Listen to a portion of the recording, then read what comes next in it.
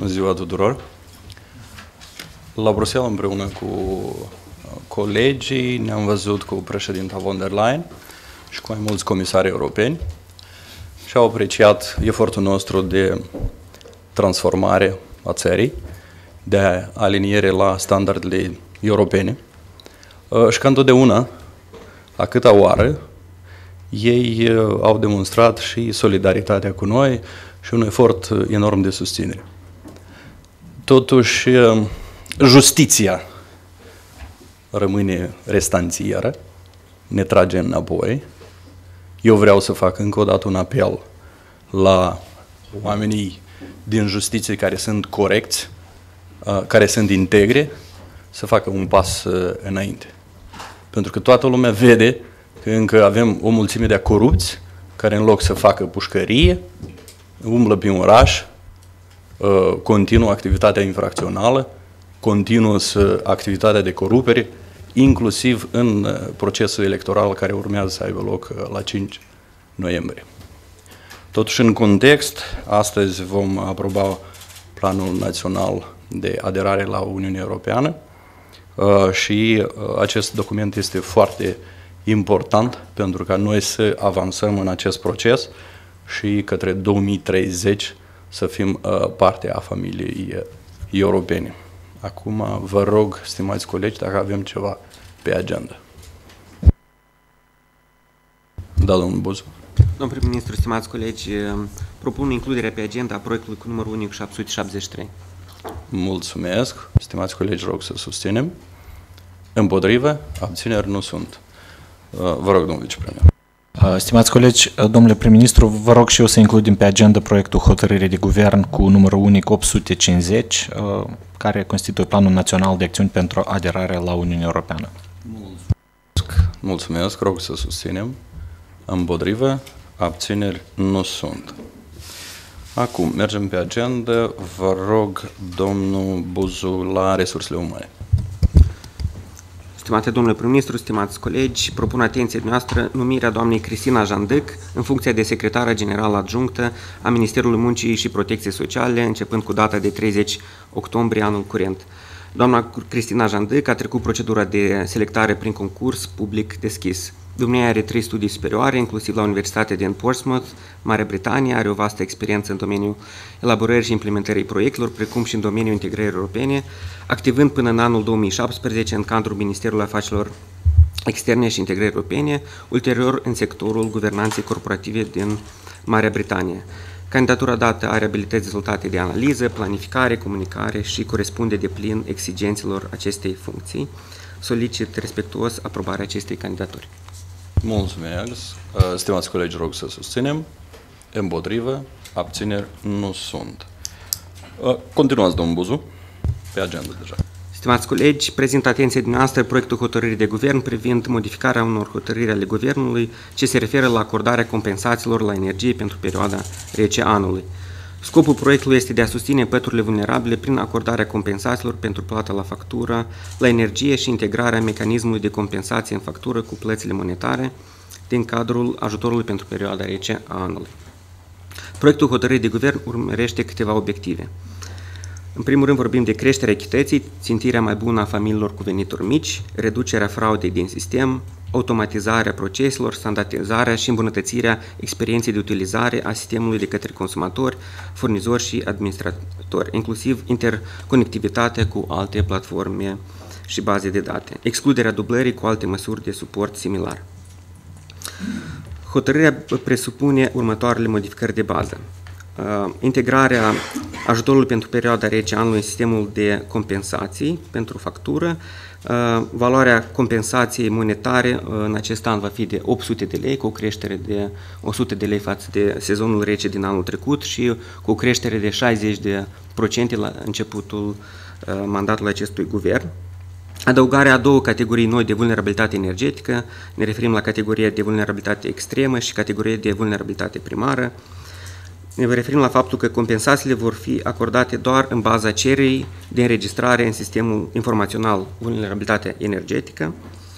La stabilirea gradului de vulnerabilitate energetică va conta și gradul de dizabilitate a membrilor uh, gospodăriei uh, care depune această solicitare. Anul trecut acest lucru nu a fost.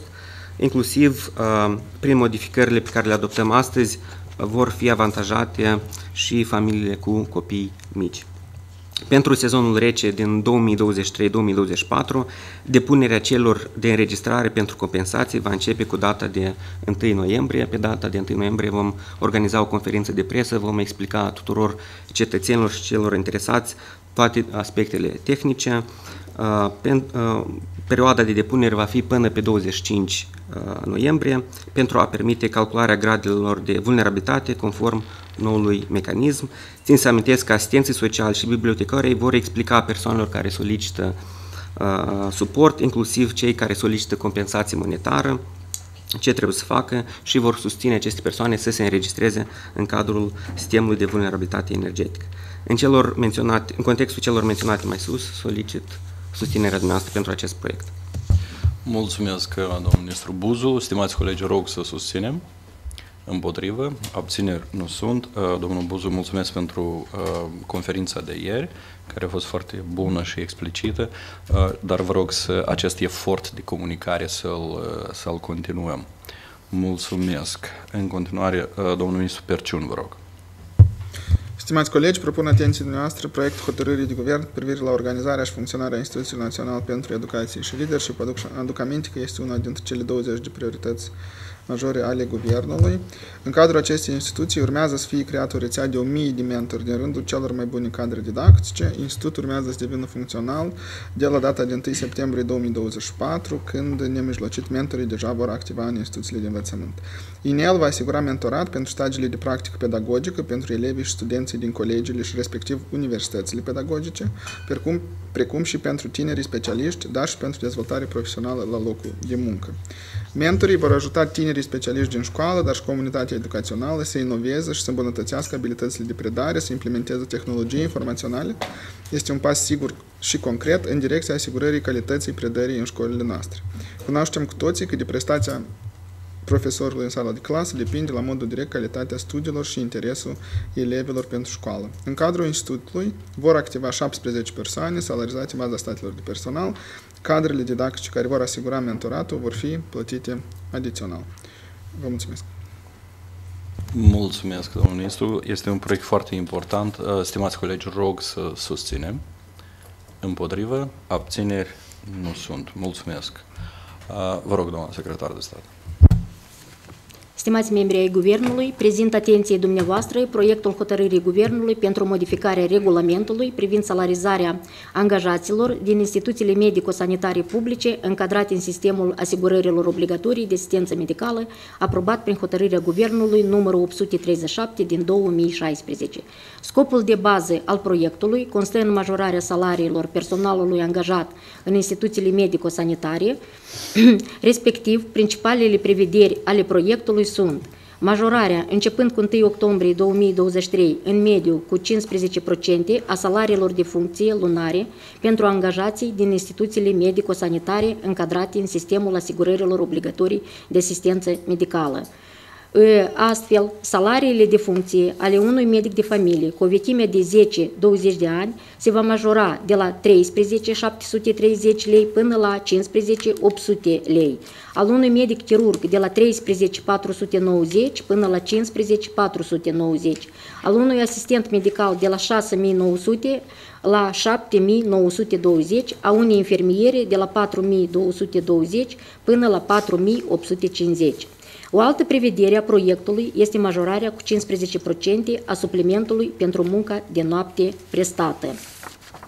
Prin proiectul dat se modifică și perioada de referință din anual în semestrial pentru stabilirea suplimentului la salariu personalului de conducere pentru performanțele profesionale individuale în muncă, având ca bază îndeplinirea indicatorilor de performanță pentru rezultatele activității instituției pe perioada semestrului precedent. De asemenea, proiectul prevede precizarea unor reglementări pentru excluderea interpelărilor duale, precum și modificări de ordin tehnic. De majorările salariale vor beneficia circa 48.000 de lucrători ai sistemului medical. iar salariul mediu cu toate sporurile și suplimentele respective al unui medic se va majora de la 17.300 până la 19.900 de lei, al unui asistent medical de la 11.000 până la 12.700, al unei infermiere de la 6.500 până la 7.500. Sub aspect financiar, cheltuielile necesare aferente majorărilor de salarii propuse în proiect se estimează la circa 104,5 milioane lei lunar, sau pentru 3 luni ale anului 2023 la circa 313,5 milioane lei, care vor fi acoperite din contul alocațiilor prevăzute în legea numărul 297 din 2023 pentru modificarea legii fondurilor de asigurări obligatorii de asistență medicală pentru anul 2023. În contextul celor expuse, rog susținerea proiectului. Mulțumesc, doamna secretar de stat. În felul ăsta noi punem în aplicare majorările de salarii pentru instituțiile medicale, pentru medici și asistenții medicali. Stimați colegi, rog să susținem. Împotrivă, abțineri nu sunt. Mulțumesc. Domnul vicepremier Alaiba, vă rog. Mulțumesc, domnule prim-ministru. Stimați colegi, după cum știți bine, Obiectivul nostru principal este să dezvoltăm economie, să dezvoltăm antreprenoriatul, iar asta înseamnă să susținem inclusiv uh, acele uh, segmente ale societății care ar putea avea o contribuție mai mare și un potențial de creștere mai mare decât uh, ceea ce este valorificat la moment. Respectiv, avem acum propus spre atenția dumneavoastră programul de susținere a antreprenoriatului feminin ori ne dorim ca cuvântul antreprenor să aibă și genul feminin, antreprenor și antreprenoare. Uh, prevederile principale ale acestui program uh, în primul rând, uh, se prevăd suport financiar nerambursabil în sumă de până la 600.000 de lei, respectiv 200.000 de lei pentru afaceri debutante și 600.000 de lei pentru afaceri în dezvoltare, oferirea unui suport financiar, financiar nerambursabil denumit pachetul e-commerț Uh, în valoare maximă de 30.000 de lei pentru debutanți și 50.000 de lei pentru afaceri în dezvoltare, uh, pentru valorificarea potențialului comerțului electronic, modificarea criteriilor de eligibilitate în favoarea antreprenoarelor Uh, astfel introducem o mai mare flexibilitate și uh, grad de eligibilitate.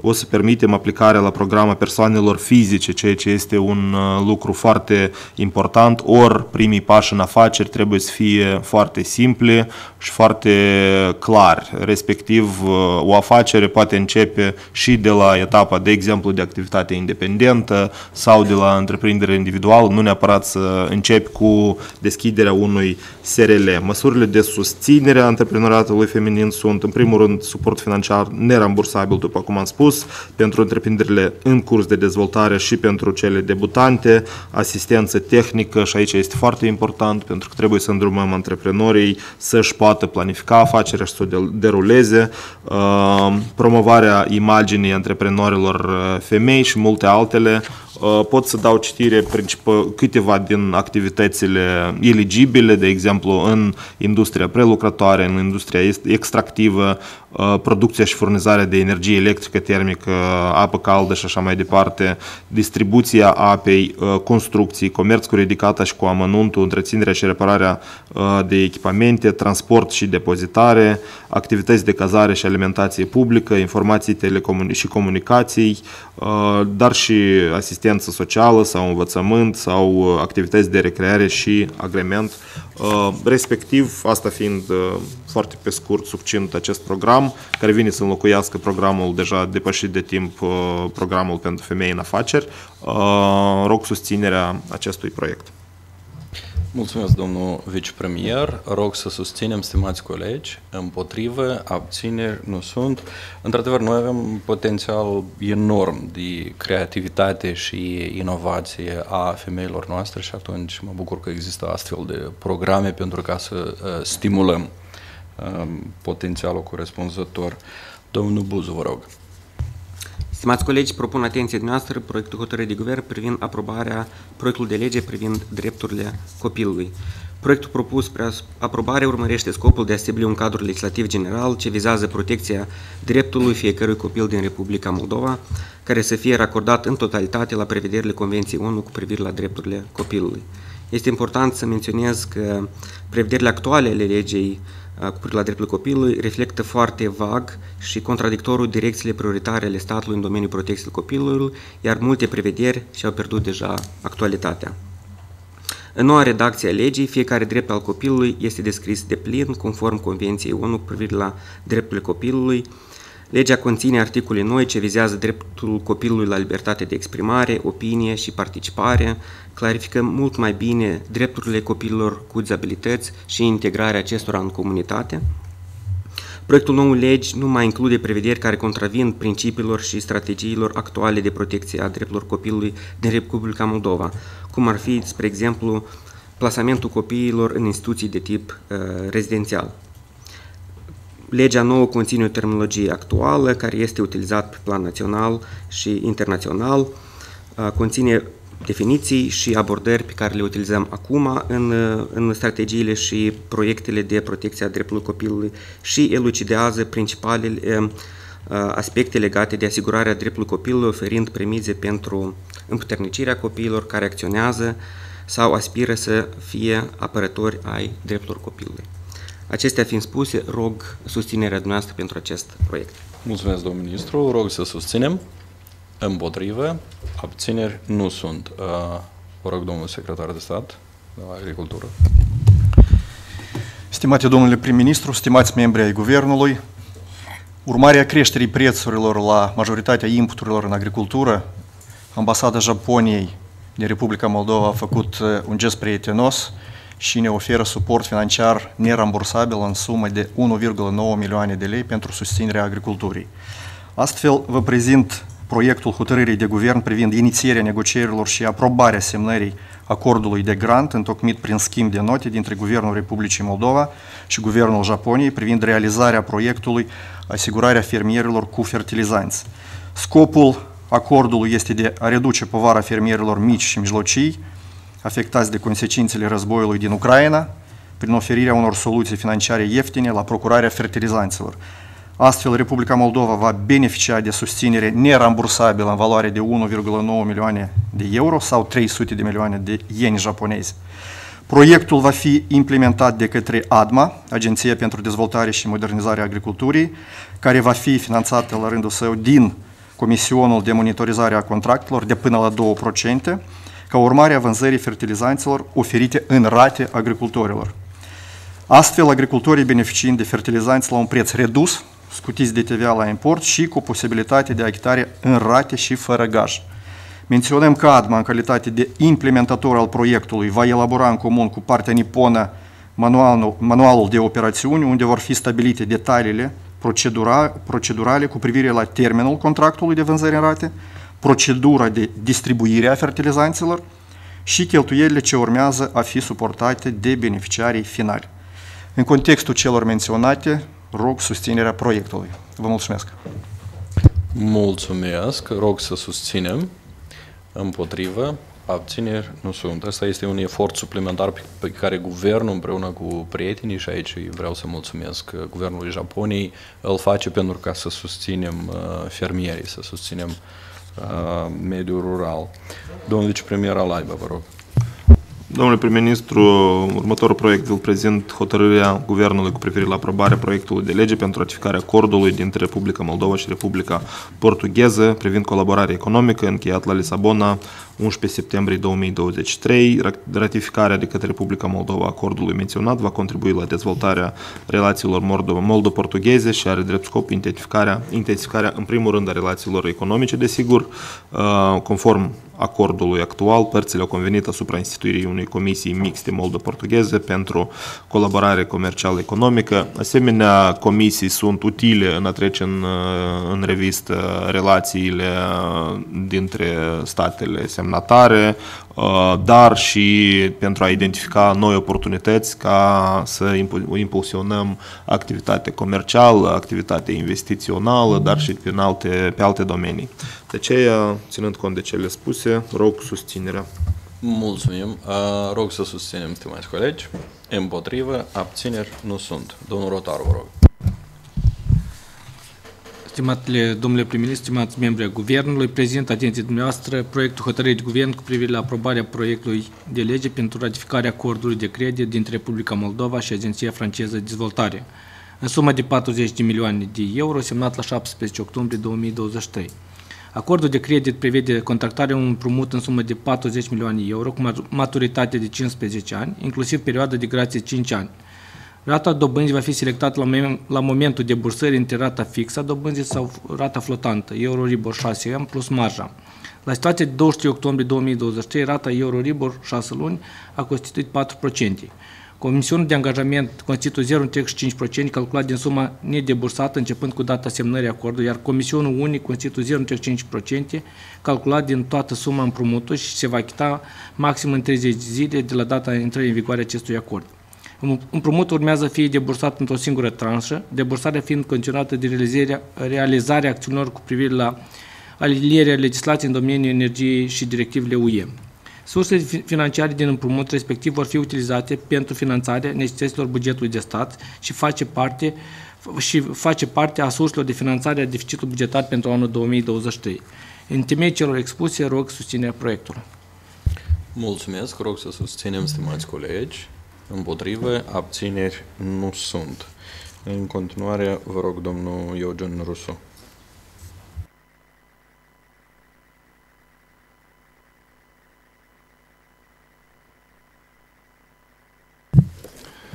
Stimate domnule prim-ministru, stimați membri ai Guvernului, prezint atenție dumneavoastră proiectul legii privind protecția secretelor comerciale, determinat de reglementarea normativă fragmentară la nivel național a protecției informațiilor ce constituie secrete comerciale, precum și de necesitatea transpunerii depline a directivei privind protecția know-how-ului și a informațiilor de afaceri nedivulgate împotriva dobândirii, utilizării și divulgării ilegale în vederea asigurării protecției secretelor comerciale la nivelul corespunzător celui reglementat de statele membre ale Uniunii Europene. Astfel, în scop consolidării cadrului normativ național privind protecția secretelor comerciale, prin proiectul legii se stabilesc norme ce vizează definirea noțiunilor de bază, stabilirea limitelor de aplicare a cadrului normativ, reglementarea modurilor de dobândire, utilizare și divulgare a secretelor comerciale, stabilirea drepturilor deținătorilor secretelor comerciale, instituirea măsurilor, procedurilor și acțiunilor reparatorii ca instrumente juridice de intervenție în vedere contracarării acțiunilor de utilizare ilegală a secretelor comerciale, în special măsurilor previzorii și asiguratorii, măsuri coercitive și alternative. În context, Proiectul stabilește totodată și abrogarea secțiunii 3, răspunderea pentru dobândirea, utilizarea sau divulgarea ilegală a secretelor comerciale din Codul Civil al Republicii Moldova. Aprobarea proiectului în cauză derivă din prioritățile incluse în planul de acțiune a Guvernului pentru anul 2023, urmarea celor expuse reșind de necesitatea îndeplinirii obiectivelor ce rezultă din angajamentul Republicii Moldova de armonizare a legislației naționale cu acquis Uniunii Europene, precum și în scopul asigurării reglementării complete și unitare a acestui instrument juridic de protecție, rog aprobarea respectivului proiect de act normativ. Mulțumesc. Rog să susținem, stimați colegi. Împotrivă, abțineri nu sunt. Vă rog să continuați, domnul Rus. Mulțumesc. Stimate domnule prim-ministru, stimați membri ai Guvernului, prezint atenție dumneavoastră proiectul hotărârii Guvernului cu privire la aprobarea regulamentului privind procedura de control a activității organizațiilor de gestiune colectivă și a structurilor comune de colectare, elaborat în scopul implementării prevederilor legii cu privire la dreptul de autor și drepturile conexe.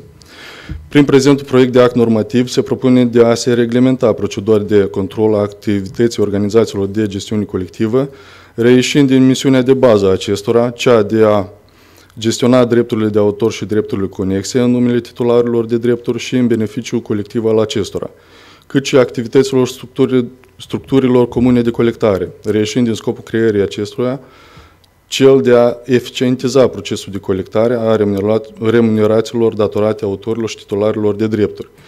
Nemijlocit, prin acest proiect se propune de a se reglementa 1. Aspecte cu referire la organizarea și desfășurarea de către AGP a controlului activității organizațiilor de gestiune colectivă și a structurilor comune de colectare. 2.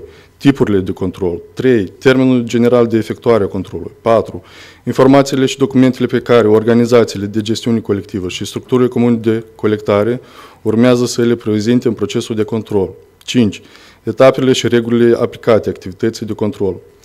Reglementările propuse se încadrează în normele primare instituite de la acest capitol, în legea dreptului de autor și a drepturilor conexe și au drept scop de a asigura o cât mai deplină conformitate a activității organizațiilor de gestiune colectivă și corespunzător a structurilor comune de colectare cu, cu prevederile legale, precum și de a garanta un nivel adecvat de protecție a intereselor autorilor și titularilor de drepturi și a drepturilor conexe. Proiectul a fost coordonat cu autoritățile și instituțiile interesate, majoritatea propunerilor fiind luate în considerare la definitivarea acestuia. În, termen, în temeiul celor expuse, rog susținerea proiectului dat. Mulțumesc. Mulțumesc, domnul Rusu. Stimați colegi, rog să susținem, împotrivă, abțineri nu sunt. Doamna Iordana, vă rog. Stimatele dom stimate domn prim-ministru, stimați colegi, atenție dumneavoastră se prezinte proiectul hotărârii de guvern pentru aprobarea programului de management durabil al substanțelor chimice pentru anii 2023-2030. Programul este un document de politici care stabilește obiectivele și prioritățile naționale pentru dezvoltarea sistemului de management durabil al substanțelor chimice de-a lungul întregului ciclu de viață. Ciclul de viață al unor substanțe chimice cuprinde toate etapele, începând de la importul sau producerea, până la depozitarea, transportarea, utilizarea și eliminarea sau valorificarea substanțelor chimice. Programul, în mod deosebit, va examina sau examinează acțiunile pentru următoarele categorii de substanțe chimice periculoase. În primul rând, produsele de protecție a plantelor, produsele biocide, detergenții ce conțin agenți tensioactivi care nu îndeplinesc criteriile pentru biodegradare, biodegradare aerobă finală, substanțele cu risc major pentru sănătate umană și mediu, substanțe chimice industriale periculoase și substanțele chimice care distrug stratul de ozon, echipamente și produse ce conțin astfel de substanțe. Programul vizează realizarea obiectivelor majore pentru gestionarea și siguranța substanțelor și produselor chimice, creșterea nivelului de protecție a mediului și a sănătății umane, în mod deosebit asigurarea calității aerului, calității apei, dezvoltarea infrastructurii necesare pentru gestionarea deșeurilor și apelor reziduale, promovarea la nivel național a principiilor de dezvoltare durabilă și economiei circulare. Programul este de importanță majoră și din alt aspect, că se încadrează în aspirațiile Republicii Moldova în aderarea la Uniunea Europeană. Statul, statutul de țară candidat pentru aderarea la Uniunea Europeană dictează necesitatea accelerării armonizării legislației pentru plasarea pe piață a produselor chimice racordate la standardele Uniunii Europene pentru a asigura utilizarea internă a produselor de calitate inofensive pentru sănătatea umană și mediul înconjurător. Programul a fost consultat cu autoritățile publice centrale de resort și cu mediul de afaceri academic. Recomandările au fost luate în considerare și în baza celor menționate rog susținerea acestuia. Mersi. Mulțumesc, doamnă ministră. Rog să susținem, stimați colegi. Împotrivă, abțineri nu sunt. Domnul Prodan. Stimate domnule prim-ministru, stimați colegi, propun atenție dumneavoastră proiectul hotărârii Guvernului privind modificarea hotărârii Guvernului numărul 256 din 2013 cu privire la aprobarea unor acte normative prin implementarea legii 228 din 25 uh, noiembrie 2011 pentru modificarea și completarea legii 939 din 2000 cu privire la activitatea editorială. Necesitatea elaborării și aprobării prezentului proiect de hotărâre de guvern se propune în contextul punerii în aplicare a legii 11 din 2023 pentru modificarea legii 939 din 2000 cu privire la activitatea editorială. În acest sens se impune aprobarea regulamentului cu privire la mecanismul de finanțare a revistelor culturale din mijloacele bugetului de stat. Trebuie să menționez faptul că în ultimul deceniu uh, revistele culturale în Republica Moldova au rămas fără susținerea statului, ceea ce a dus la diminuarea impactului acestor reviste și chiar la dispariția unor reviste extrem de prestigioase care erau cotate chiar și peste uh, în afara granițelor uh, Republicii Moldova. Ca rezultat a implementării acestui regulament și acestei susțineri din partea statului a revistelor culturale, vor avea de beneficiat în primul rând bibliotecile publice din țară, care vor primi gratuit circa 300 de reviste culturale prin intermediul serviciului poștal și vor putea să completeze colecțiile, fondurile de carte, de fapt, cu aceste reviste, pentru că nu e suficient să uh, edităm doar cărți, trebuie să avem și reviste culturale care explică și încurajează lectura și accesul cetățenilor la uh, produsele culturale în Republica Moldova. Țin să menționez că implementarea proiectului presupune cheltuieli financiare suplimentare din bugetul de stat, prin urmare, va necesita, vor fi necesare alocări, uh, alocarea sumei de un milion de lei pentru editarea revistelor uh, culturale, un milion de lei anual. În final, adoptarea prezentului proiect de hotărâre uh, de guvern va avea impact direct la apariția și sporirea numărului de reviste culturale promovarea autorilor autohtoni și a culturii scrise, precum și creșterea calității conținutului publicațiilor de cultură, dar și a nivelului general de cultură în Republica Moldova. Rog susținerea acestui proiect. Mulțumesc, domnul Brodan și stimați colegi, rog să susținem acest proiect foarte important, chiar dacă bugetul este relativ mic, împotrivă, abțineri nu sunt. Domnul Brodan, am să vă rog pe dumneavoastră și iată împreună cu domnul ministru Perciun, să ne gândim și la programe de stimulare a cererii și pentru reviste culturale și pentru programe culturale și pentru, în general, cererii pentru conținut cultural. Și la fel să vedem politici care ne ajută să stimulăm și oferta și cererea de conținut cultural online, adică digital. Mulțumesc. Domnul ministru Perciun, vă rog. Stimați colegi, propun atenției dumneavoastră proiectul decizii de guvern cu privire la acordarea burselor de merit elevilor și studenților de etnie romă din învățământul liceal, profesional, tehnic și superior. Proiectul prevede posibilitatea de a beneficia de burse de merit în valoare de până la 1200 de lei pentru studenții de etnie romă cu performanțe academice deosebite. Bursele vor putea fi obținute prin concurs, la care se vor putea înscrie persoanele cu vârstă cuprinsă între 16 și 25 de ani și care nu beneficiază de burse acordate de la bugetul de stat. Concursul va fi organizat de Agenția Relații Interietnice, iar beneficiarii burselor vor fi selectați în baza mediei notelor, scrisorilor de intenție și scrisorilor de recomandare. În anul curent, de bursă vor putea beneficia până la 120 de persoane, aproximativ 60 din învățământul liceal, 15 din învățământul profesional tehnic, 20 din învățământul profesional tehnic postsecundar și 25 din învățământul superior. În acest sens, în bugetul de stat au fost alocate alocați 1,5 milioane de lei. Mersi, colegi, rog susținerea proiectului. Mulțumesc, domnul ministru. Rog să susținem. Împotrivă. Abțineri nu sunt. Domnul vicepremier Alaiba, vă rog.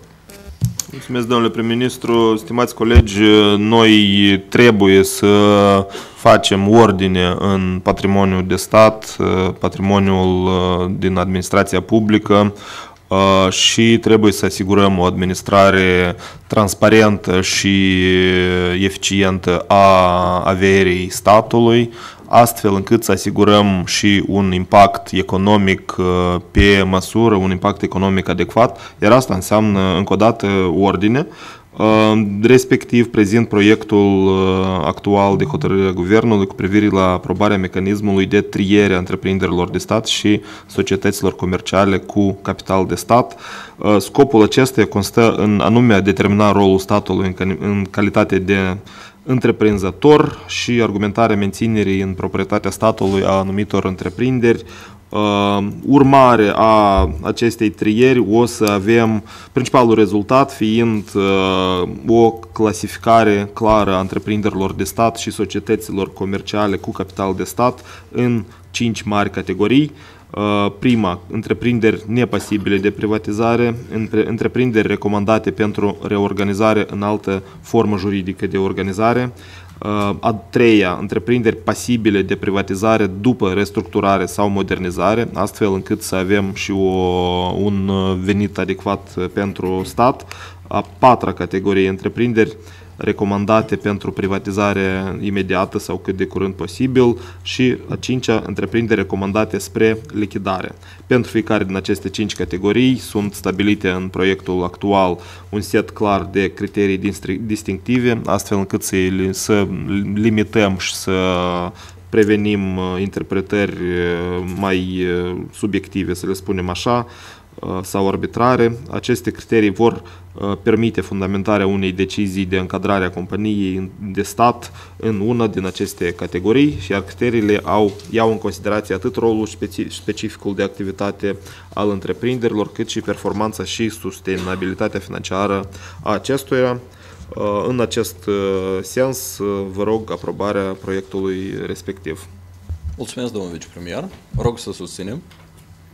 Împotrivă, abțineri nu sunt. La acest capitol vreau să spun și să apreciez faptul, nu o să dau nume, că avem o serie de întreprinderi de stat care, iată, odată ce am adus administratori noi, integri, profesioniști, și au crescut, au crescut performanțele.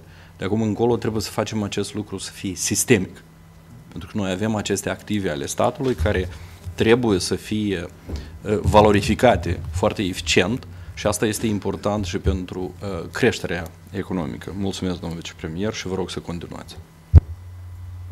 Mulțumesc. În, același, uh, în aceeași notă, de fapt, și chiar urmare logică a Uh, subiectului precedent. Uh, eu să repet că noi vrem să avem ordine și transparență în uh, întreprinderile de stat, în administrarea acestora, în modul în care se iau decizii și desigur că exact cum ați menționat, cine și cum ia decizii în cadrul acestor întreprinderi de stat, respectiv actuala, actualul proiect de hotărâre a Guvernului ține de aprobarea codului model de guvernanță corporativă pentru întreprinderile de stat și municipale și societățile pe acțiuni, societățile cu răspundere limitată, cu capital integral sau majoritar public, fie asta la nivel uh, central, fie asta la nivel local, Uh, principalele finalități pe care le urmărim prin acest proiect sunt următoarele. Uh, în primul rând, să asigurăm un cadru adecvat aferent guvernanței corporative. Asta este principala cheie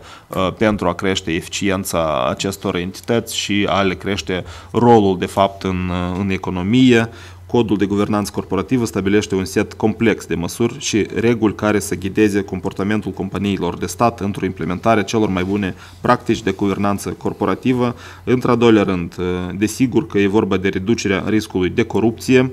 Prin urmare, prin aprobarea și implementarea acestui cod de guvernanță corporativă, care stabilește adoptarea unor politici și proceduri anticorupție, implementarea unui sistem de control intern și promovarea integrității în cadrul acestor companii de stat, se poate poate reduce semnificativ riscul de corupție și practici necorespunzătoare.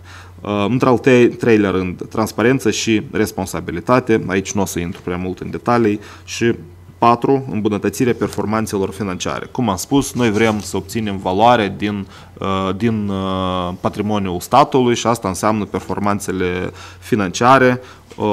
Asta fiind spuse, rog aprobarea acestui proiect.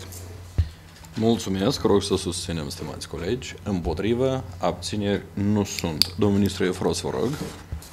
Mulțumesc, stimate domnule prim-ministru, stimați colegi. Prezint atenție dumneavoastră proiectul hotărârii Guvernului cu privire la aprobarea conceptului Sistemului Informațional Registru de Stat a Datelor Genetice și a regulamentului privind modalitatea de ținere a Registrului de Stat a Datelor Genetice. Proiectul a fost elaborat în temeiul legii 235 din 2017 cu privire la înregistrarea genetică judiciară în scopul instituirii Registrului de Stat a datelor genetice și aprobării conceptului și regulamentului Sistemului Informațional Registru de Stat a datelor genetice. Aprobarea proiectului are un rol determinant în descoperirea infracțiunilor prin gestionarea unei baze de date genetice automatizate, în scopul identificării rapide a autorilor infracțiunilor pe baza profilului genetic. Implementarea și dezvoltarea sistemului menționat se va efectua din contul mijloacelor financiare, financiare ale proiectului îmbunătățirea eficienței și accesului la justiție în Republica Moldova, susținut de programul uh, Națiunilor Unite pentru dezvoltare și cu sprijinul financiar al Suediei. În temeiul celor expuse, rog susținerea proiectului. Mulțumesc, domnul ministru. Rog să susținem, stimați colegi. Împotrivă, abțineri nu sunt.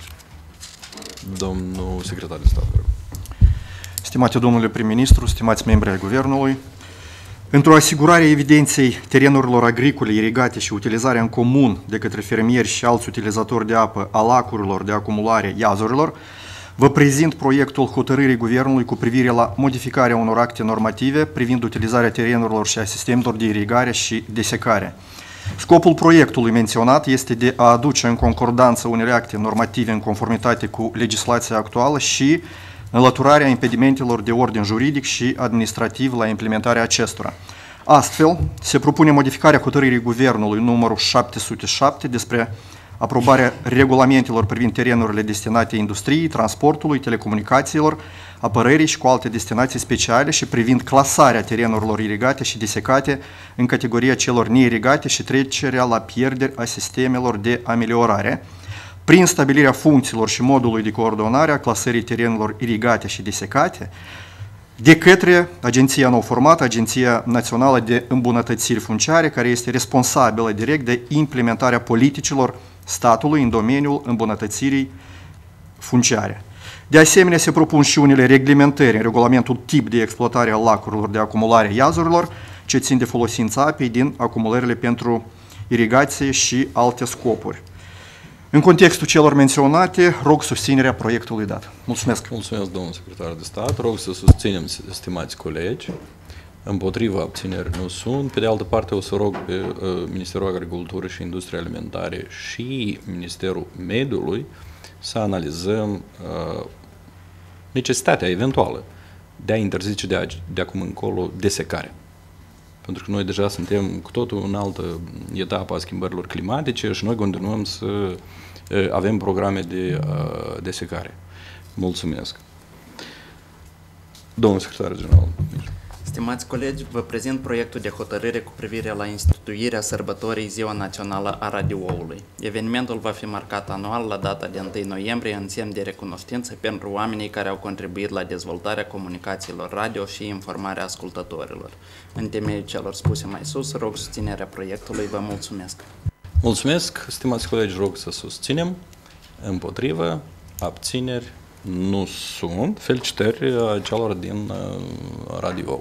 Uh, eu, cu această ocazie, vreau să încurajez pe cei uh, tineri uh, din școli, de la universități, dar și amatorii care se ocupă de radiocomunicații. Vreau să spun că în situațiile cele mai dificile, atunci când inclusiv sunt catastrofe, Unica ce ne rămâne sunt uh, undele de radio tradiționale care se utilizează. Așa că felicitări tuturor și celor care transmit undele de radio, adică fac uh, uh, tehnologie, dar și celor care ne vorbesc de la radio. Mulțumesc! În continuare, doamna ministră Mihailov Moraru. Mulțumesc, stimate domnule prim-ministru, stimați membri ai Cabinetului de Ministri. Prezint atenției dumneavoastră proiectul hotărârii de guvern pentru modificarea regulamentului cu privire la Consiliul Consultativ de pe lângă agentul guvernamental, prin care se propune actualizarea componenței acestui Consiliu, dar și alte aspecte de îmbunătățire a prevederilor privind funcționalitatea acestuia. De remarcat e faptul că din momentul aprobării acestui act normativ și până în prezent acest consultativ, Consiliul Consultativ nu a fost constituit. Astfel, urmarea reconceptualizării funcțiilor demnitarilor de stat din structura guvernamentală a intervenit necesitatea de a modifica componența pentru a forma în sfârșit acest Consiliu. Totodată se propune în mod suplimentar includerea în calitate de membri ai Consiliului a cât un reprezentant din partea Curții Supreme de Justiție, a Procuraturii Generale, dar și a Oficiului Avocatului Poporului, care vor contribui la eficientizarea mecanismului de protecție a drepturilor omului, având în vedere atribuțiile specifice ale acestor entități.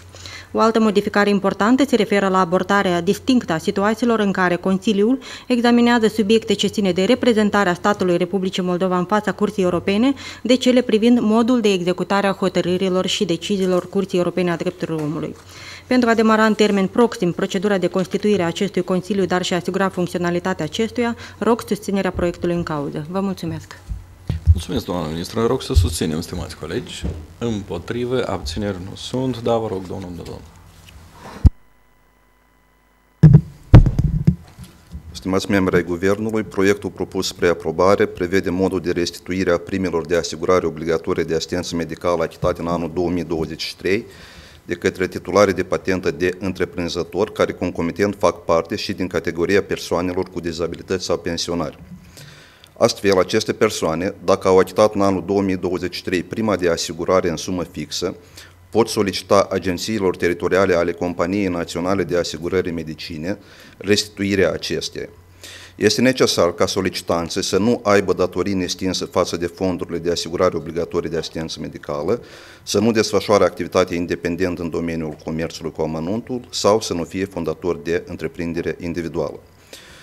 Proiectul de hotărâre a Guvernului privind aprobarea regulamentului privind modul de restituire a primei de asigurare obligatorie de asistență medicală a fost elaborat în vederea executării legii 40 pe 2023 pentru modificarea unor acte normative. Astfel, solicit respectuos aprobarea proiectului menționat. Mulțumesc, domnul Dodon. Stimați colegi, rog să susținem. Împotrivă, abțineri nu sunt. Domnul Dodon, am o solicitare expresă, acest proces să fie ușor pentru toți solicitanții de restituire a acestor, acestor uh, sume. Mulțumesc. Domnul Rotaru, vă rog. Stimate domnule prim-ministru, stimați colegi, vă prezint proiectul de hotărâre privind aprobarea avizului la proiectul de lege pentru modificarea unor acte normative înaintat cu titlul de inițiativă legislativă.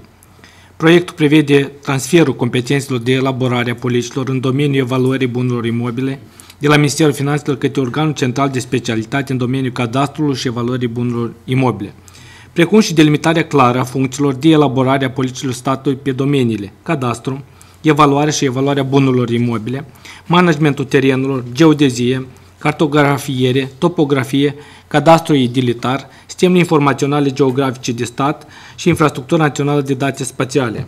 Ținând cont de cele spuse, rugăm susținerea proiectului.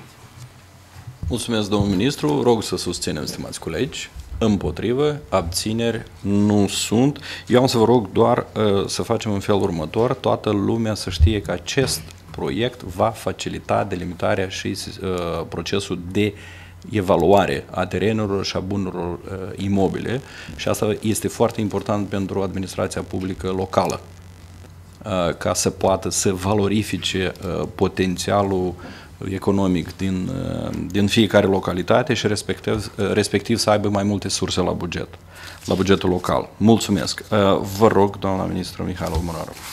Mulțumesc.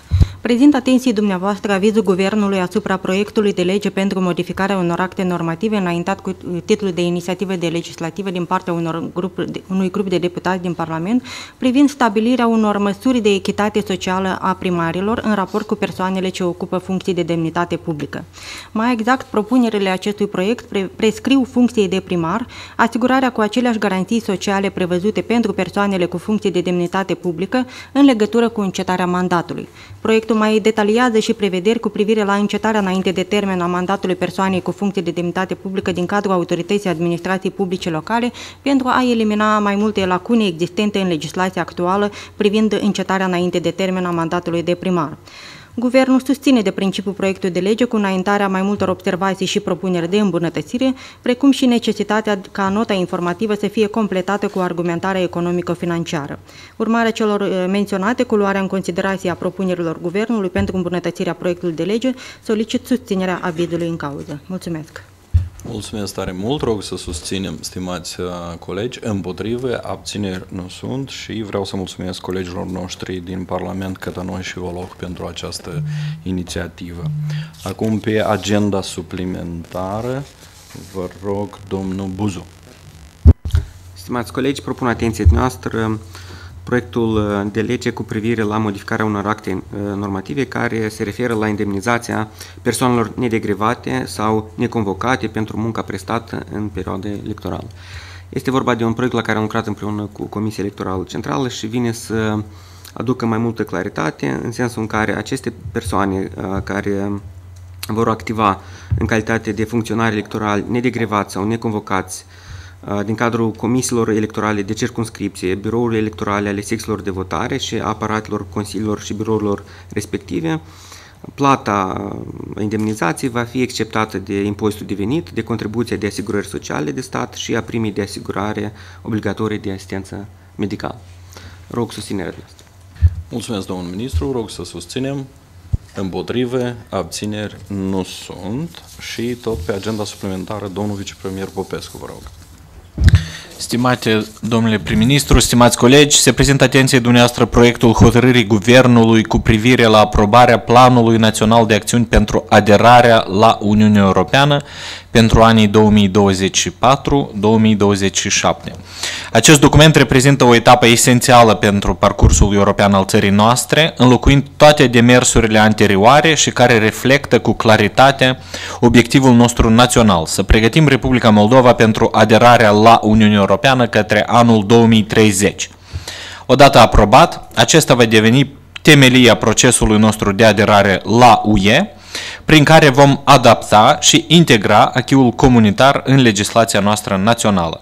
Planul dat va fi actualizat după fiecare raport de extindere al Uniunii Europene prezentat de Comisia Europeană. În contextul accelerării procesului de aderare a Republicii Moldova la Uniunea Europeană și prin prisma dobândirii statutului de țară candidat uh, la 23 iunie 2022, acest plan reprezintă documentul strategic de aliniere a legislației naționale la achiul comunitar și este o etapă importantă în pregătirea Republicii Moldova pentru lansarea negocierilor de aderare la Uniunea Europeană.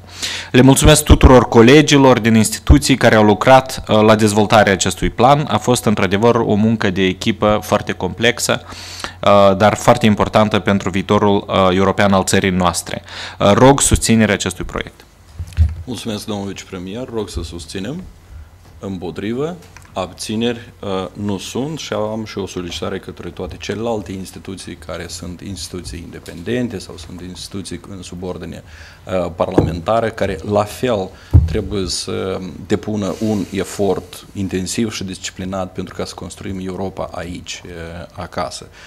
Acest lucru, integrarea europeană este despre noi toți, absolut despre noi toți.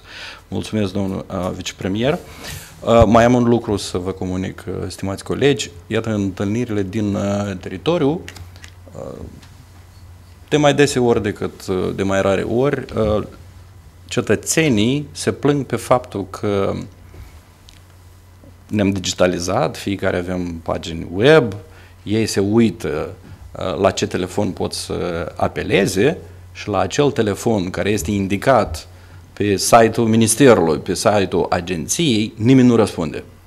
Eu vă rog, până luni, să vedem cum suntem organizați pe interior, toate telefoanele să răspundă, iar eu o să-i rog pe cei de la STISC și în fiecare lună o să avem un raport foarte clar uh, și simplu, tehnic, cine și cât drept de răspuns la apelurile uh, cetățenilor. Vă rog uh, foarte mult, uh, până luni, cum am zis, să vedem pe fiecare pe interior că telefoanele care sunt indicate și unui cetățenii trebuie, vor să se adreseze cu probleme, uh, acolo se răspunde.